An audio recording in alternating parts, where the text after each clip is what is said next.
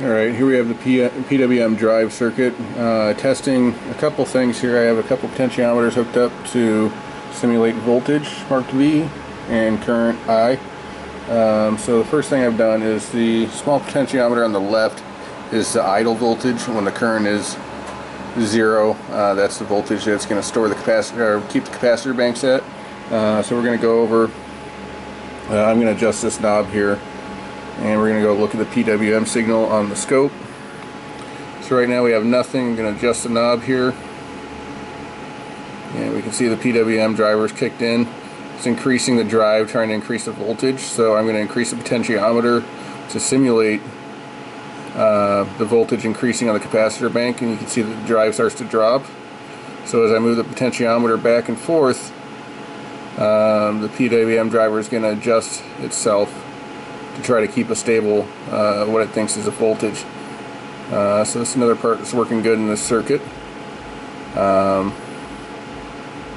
so go ahead and find a stable spot. The second part we have is once we get up on current uh, out of discontinuous mode, uh, it then uh, PWM driver then watches the uh, current sense which comes in on this three pin header on the uh, green wire here and I'm going to simulate that with this potentiometer.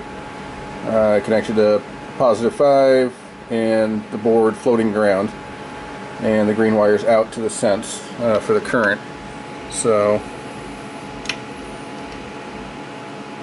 let's get that uh, give me a second here. Get this thing back up to generating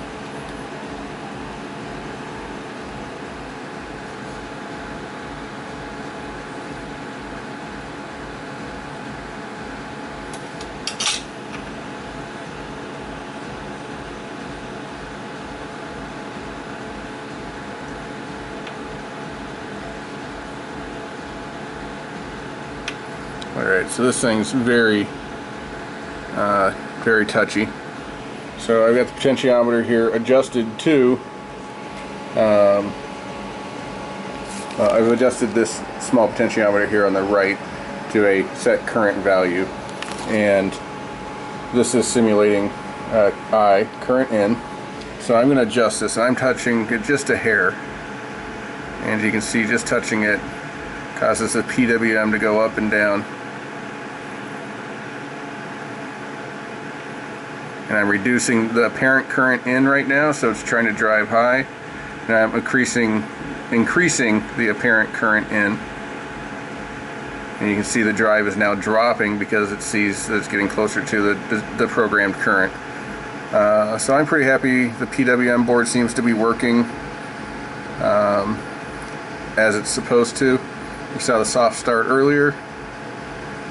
So uh, no complaints. This is looking good. I should have a uh, have this installed, and then I get to worry about these uh, MOSFET drivers over here next.